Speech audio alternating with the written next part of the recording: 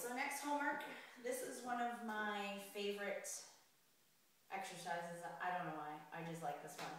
So you're gonna have some dumbbells. Um, weight is up to you. Uh, you can just keep them on the floor if you want for now.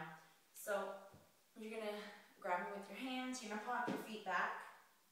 You're gonna pop in, stand up, and you're gonna do a hammer curl. And then you're gonna bring them down.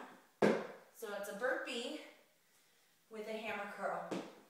Now there's a, a few different ways uh, you can do this.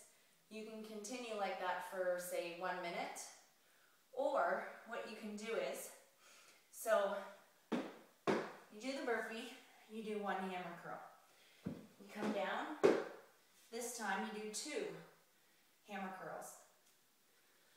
Next time, you do three. So what you're doing is you're up chaining the hammer curls.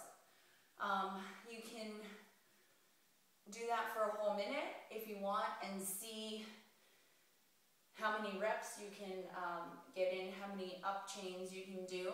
Um, or what you can do is you can go up to 10, okay, and then you can take a little break if you want, and then what you can do is you can start at 10 and go 10, 9, 8, all the way down to 1. So there's a couple different ways you can do that one.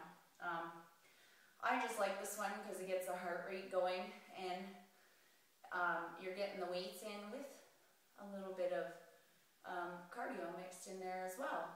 So that would be your next homework. So um, obviously you don't have to jump the into the burpee. You can bring your hands down. You can walk your feet back and stand and curl.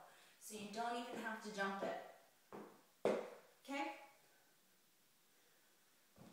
Walk out, walk in, stand, and curl. And obviously when you stand, core so you're not hurting your back. All right, so there's your next homework.